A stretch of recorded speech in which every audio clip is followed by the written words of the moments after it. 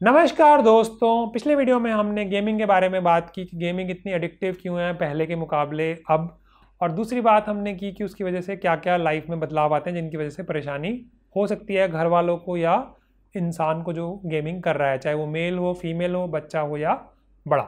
इस वीडियो में हम बात करेंगे कि साइंटिफिकली क्या क्राइटेरिया है जिसके बेसिस पे एक प्रोफेशनल ये कह सकता है कि किसी को गेमिंग डिसऑर्डर हो गया है।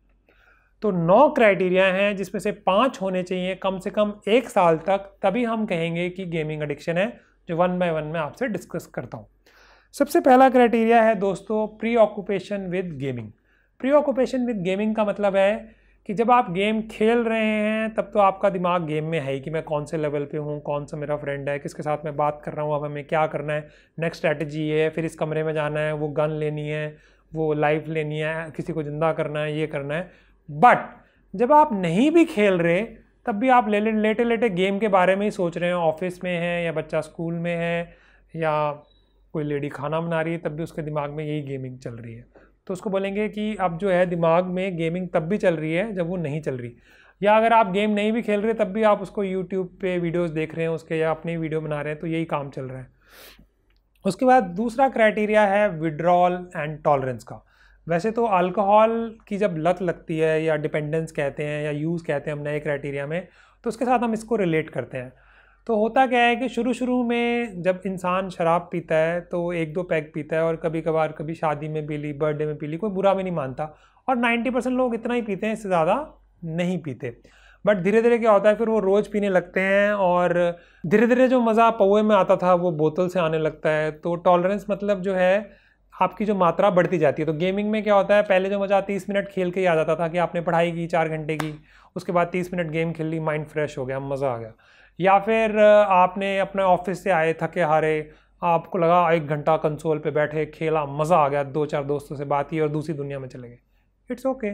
लेकिन अब वो एक घंटा नहीं, चार घंटे हो गए। तो फिर तो परेशानी है। क्योंकि अगर वो चार घंटे हो जाएँगे तो सोते सोते आप दो बज जाएँगे। अब ऐसा भी नहीं है कि आपने गेम ख़त्म की और आपको अचानक नींद आ जाएगी, वो दिमाग में झम झम झम झम झम झम झम झम चलती रहेगी मूवी। तो उसकी वजह से आपको सोने में एक दो घंटे और लग जाएँगे, चार बज जाएँगे सोते सोते तो इसका मतलब जो है टॉलरेंस हो चुकी है।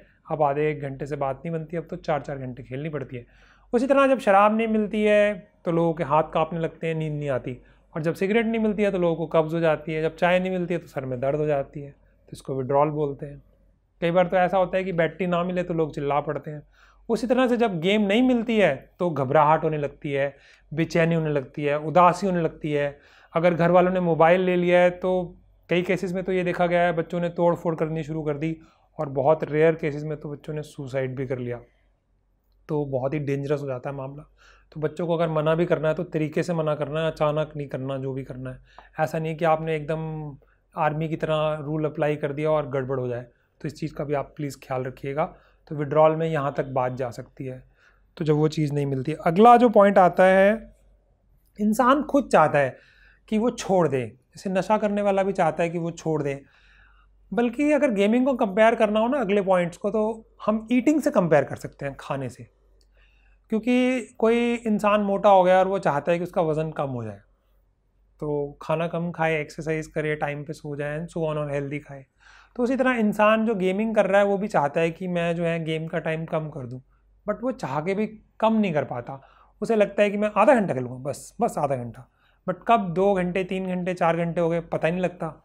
लेकिन जब पढ़ाई करनी होती है या काम करना होता है, कब पंद्रह मिनट हो गए, लगता है, हे भगवान, पंद्रह मिनट हुए मैं तो सोच रहा था, एक घंटा हो चुका। तो दैट इज़ द पॉइंट उसके बाद हम बात करेंगे कि इंसान वो चीज़ें छोड़ देता है जो वो पहले करता था। जैसे बच्चा है तो पहले वो फुटबॉल खेलने बाहर जाता था, क्रिकेट खेलने बाहर जाता था, अपने दोस्तों से बात करता था, अपने माँ बाप के साथ टाइम स्पेंड करता था, उनके साथ लूडो खेलता था, चेस खेलता था, बाकी सारे काम करता था। जो ऑफ़िस से आता था बंदा तो अपनी वाइफ से बात करता था, अपने पापा के पास बैठता था, अपनी मम्मी से बात करता था, या लेडी है वो बच्चों को टाइम पे खाना देती थी, बाकी सारी चीज़ें करती थी, अपने ऑफ़िस का काम करती थी। तो वो सारे काम जो हैं अब वो बैक सीट ले लेंगे। जैसे अगर हम दोबारा से अल्कोहल से कंपेयर करें, पहले तो हम तब ड्रिंक करते थे जब शादी होती थी या कोई फ़ंक्शन होता था, अब तो ड्रिंक ही फ़ंक्शन है। आओ बैठें, बस यही काम है। उसी तरह आओ खेलें। तो ये प्रॉब्लम बन चुकी है इसका मतलब। उसके बाद अगला पॉइंट है कि गेम को कंटिन्यू करना जब ये प्रॉब्लम्स बन चुकी है। प्रॉब्लम्स हमने ऑलरेडी डिस्कस कर ली, उनको दोबारा रिपीट करने की ज़रूरत नहीं है। फिर भी उसको कंटिन्यू करना। और अगला पॉइंट है अपनी फैमिली से छुपा के।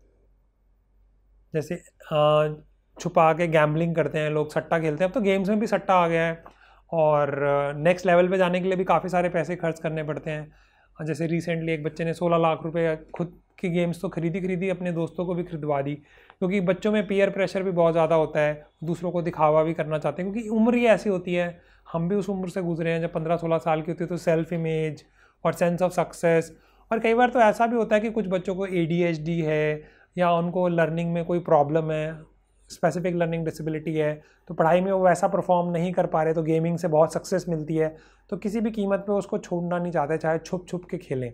तो उनकी सेल्फ इमेज के लिए वो बहुत ही इंपॉर्टेंट हो जाता है। तो इसमें यह भी इंपॉर्टेंट है कि आपको लगता है कि बच्चे का कंसंट्रेशन की कमी थी शुरू से या पढ़ाई की तो आपको एक प्रोफेशनल की हेल्प लेनी चाहिए। या आप हमारे वीडियोस देख सकते हैं ए टाइप करके, या एसएलडी या लिंक ही मैं डिस्क्रिप्शन में डाल दूँगा, क्योंकि इस तरह की प्रॉब्लम्स में भी देखा गया है कि बच्चे ज़्यादा गेमिंग करते हैं, क्योंकि एडीएचडी के बच्चों का कंसनट्रेशन थोड़ा कम होता है। तो गेमिंग में थोड़ा गिफ्टेड होते हैं, क्योंकि स्क्रीन बहुत फास्ट चेंज होती है। तो वो उन बच्चों के मुकाबले ज़्यादा बेटर खेल पाते हैं, जो नॉर्मल बच्चे होते हैं। जैसे जो रनिंग भी है, वो बेटर कर पाते हैं नॉर्मल बच्चों के मुकाबले। तो उस तरह वो गेमिंग में भी अच्छे होते हैं बट उसकी वजह से काफ़ी एडिक्शन के चांसेस बढ़ जाते हैं। और एडीएचडी में वैसे भी एडिक्शन के चांसेस जो हैं, वो ज़्यादा होते हैं।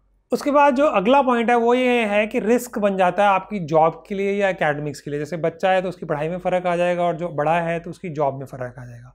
तो इन नौ में से कोई भी अगर पाँच क्राइटेरिया प्रेजेंट हैं और वो एक साल से ज़्यादा हैं तो इसका मतलब गेमिंग अब जो है, वो बहुत बड़ी प्रॉब्लम बन चुकी है।